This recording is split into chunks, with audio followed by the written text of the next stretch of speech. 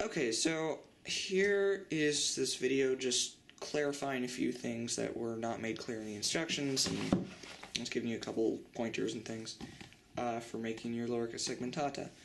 Uh, so first thing is a lot of times when you're working with the tape, the metal repair tape or the uh, foil tape, um, you will get these big wrinkles in the tape and it looks kind of weird. So one thing that I figured out is you just take the scissors, like the handle of the scissors, hold it by the blade and it, it smooths them out real nice.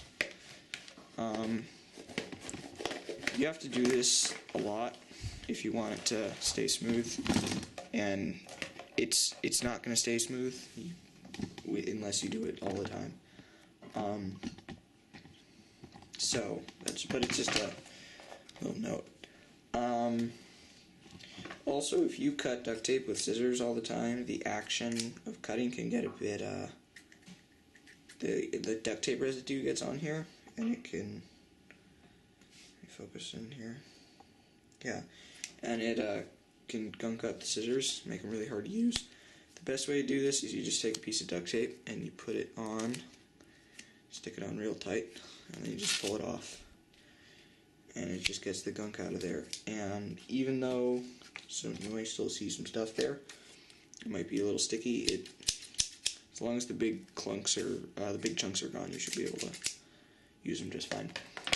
Um, now, one part is that the the most difficult step in the whole armor, and this is hard with a video, without a video, whatever, um, is to do this strapping here. This is just really complicated. Um, it, I mean, so I'm just gonna, this is mainly what I made this video for, is just explaining that process. Now, I conveniently forgot to strap these plates here, so, yay. So what you do, start out, is you want to stretch the plates as far as they're to stretch. So, uh, or wait, sorry about that. So you want to stretch the plates as far as they're going, you want them to stretch. So, like in this case, you'd pull it to here, right here. Um, so you pull pull the plate that you're about to strap all the way. You pull the pull the plate in front of it all the way, and then you kind of eye out the distance. So you, you pull these two plates to their maximum extent that you want them to extend, and then sec. And then in there,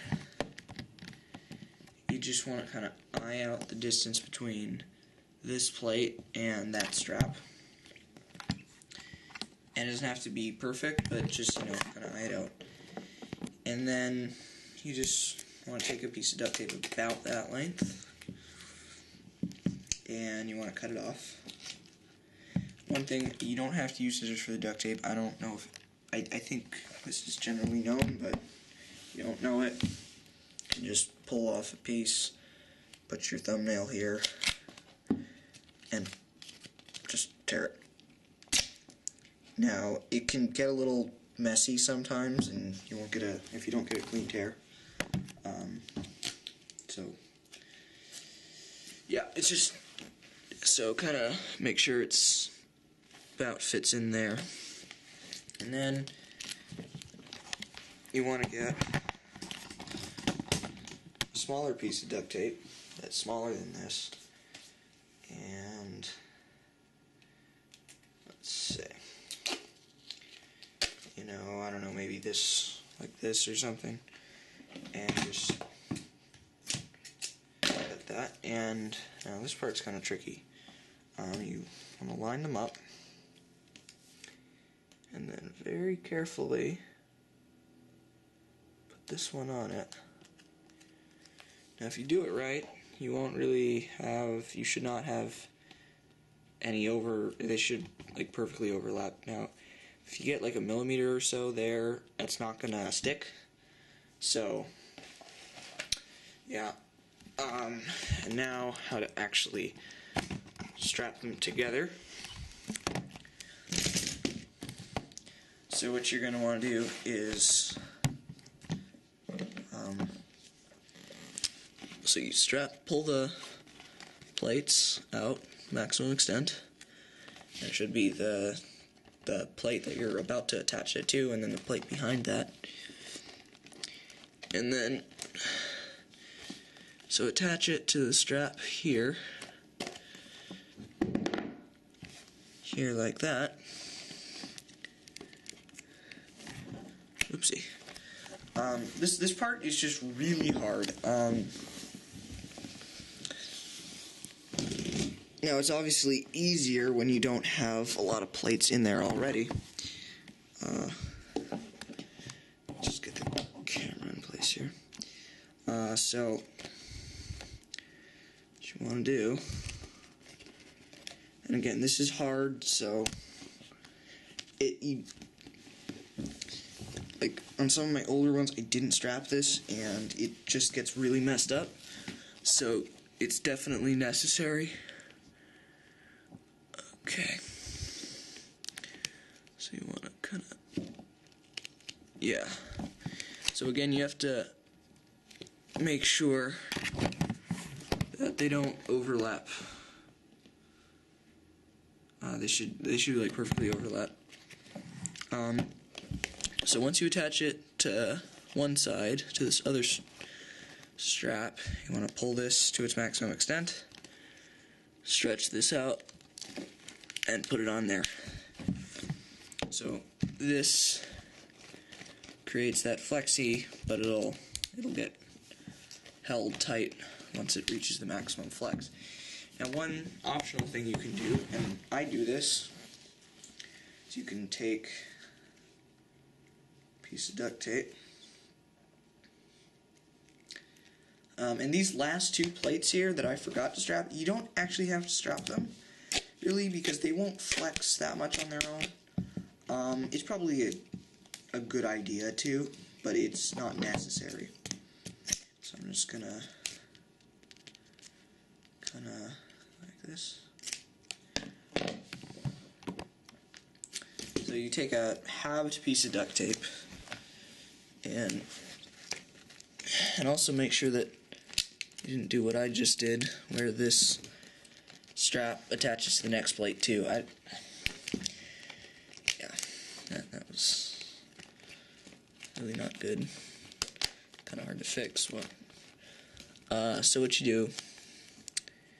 So looks like now for this strap since it's a very small strap I'm actually going to need to use a quarter strip because this is the second smallest one.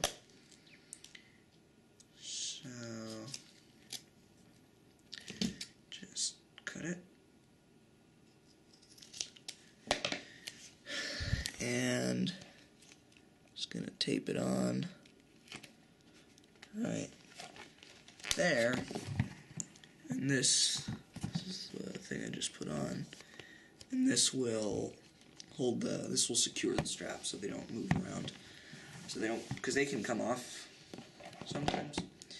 And you don't, really don't want that to happen. So what you want to do um, for this last plate here, and again it's optional to strap these, but it's probably a good idea. Um, this one is very small, as you can tell. So what you do is you take a piece of duct tape and cut it cut it off. And you want to cut it in half. Now this is kind of hard to do, to get it to do it right, because generally duct tape is sticky. Hard to hold it sometimes. But uh, it's generally how I do it. So take and definitely take your time with this. There's no hurry The longer, slower you go, generally, I mean, to a point, obviously, uh, the better this is going to end up working out. And then you want to cut it to length. You're going to end up needing both of these. So, what you want to do is now, I accidentally messed this one up, so, yeah. What you're, so what I'm gonna do is just take the part I cut off now. Usually you would not do this because you wouldn't mess it up like that, but this is about the right size. So then you get this little strap here. And now this one, you, this one's just kind of hard to do. Uh, let's see. And again, it's optional to strap these plates, but if you, there. If you want to, I would recommend it because it will get you an overall. The more tape you can put in there, the better. And then just secure it like this. And there you go. So that's pretty much how you do the strapping. Um, sorry I couldn't get a video on like how to do it from start to finish for all the plates, but yeah. Um, so one thing you can do, and I didn't do this because I was trying to make this kind of quickly. Yeah, it's optional. Um, and this is a bit more historically accurate, uh, and will make structure, we'll make better armor. It just takes forever. Is to strap, put to do strapping along here and along here because one major problem here is that this can obviously go like that. And if you want to avoid that, you should definitely do it if you have the time. I didn't. I had to make this fast, so I didn't do it. I probably will soon, but uh, so that's just a note if you want to make your armor stronger. Again, it's optional. Like you have to do the the top strapping along this edge. That you just have to do that, otherwise the armor just won't work. Um, but yeah. Uh, so and also note, um, like you see these wrinkles here. Don't try and flatten these. You, when the armor is flat, uh, like when you before you add the shoulder plating and the back plating, when the torso plating here is lying out flat um, and it's not segmented up, you that's when you do that and do the best you can. But so really do try and do a good job there because at this point you you can't really flatten them out.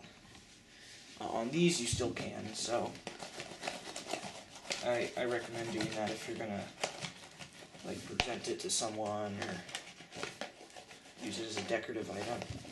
Definitely want to flatten these uh, so that it does not look like uh, foil, even though you know it is foil.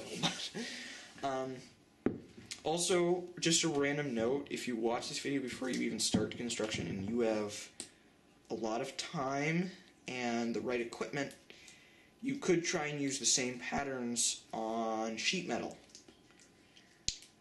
I'm not going to do this because this is a lot, a lot of work, and I don't have the right setup.